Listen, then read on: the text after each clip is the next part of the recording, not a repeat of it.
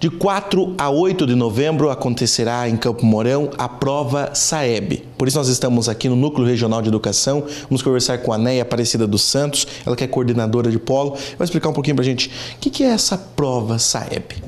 Tá, o SAEB é uma avaliação do sistema da educação é, básica, né, que ele acontece, esse ano vai acontecer nesse período de 4 a 8 de novembro aqui no estado do Paraná, e são avaliadas toda a educação básica, pública e algumas privadas. Quem pode participar?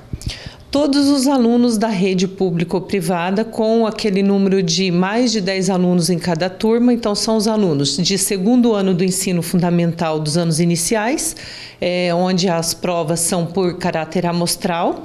Depois, os alunos do quinto ano do, do, ensino fundamental, alunos do nono ano do ensino fundamental e alunos do terceiro ou quarto ano do ensino médio o aluno está em casa, acabou de ouvir que vai ter essa prova, ele vai faltar. Qual é a importância de não faltar?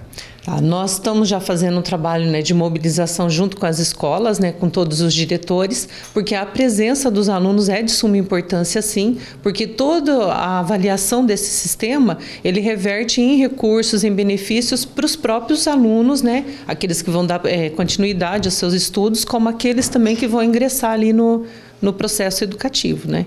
Então ela é de suma importância. São em todas as escolas? São em todas as escolas, algumas turmas, não são todas as turmas, algumas turmas daí conforme o número de alunos matriculados.